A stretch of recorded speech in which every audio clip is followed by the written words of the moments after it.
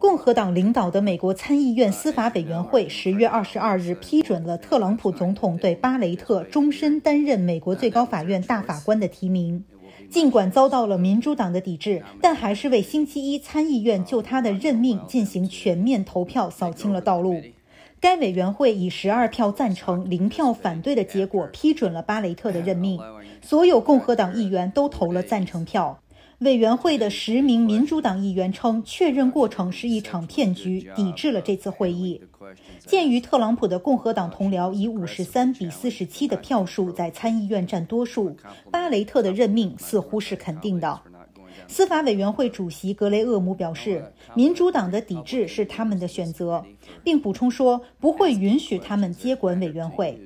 民主党委员会成员的空座位上贴着海报，海报上是一些人的照片。他们认为，如果评价医疗法案，也就是奥巴马医改被推翻，这些人将受到伤害。特朗普希望在十一月十日的大法官辩论中推翻奥巴马医改法案。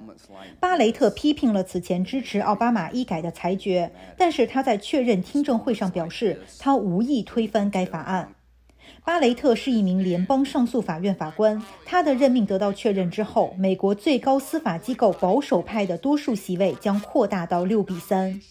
参议院多数党领袖麦康奈尔计划在周一进行投票，这将使由总统的共和党同僚控制的参议院能够按照特朗普的要求，在十一月三日大选前批准他的提名。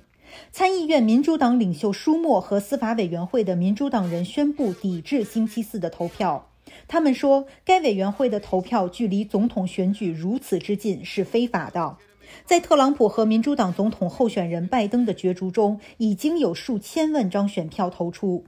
参议院共和党人已经把确认特朗普任命的保守派司法人员作为一项优先事项。特朗普表示，他相信最高法院将决定选举的结果，并且明确表示他希望巴雷特担任任何与选举有关的案件的法官。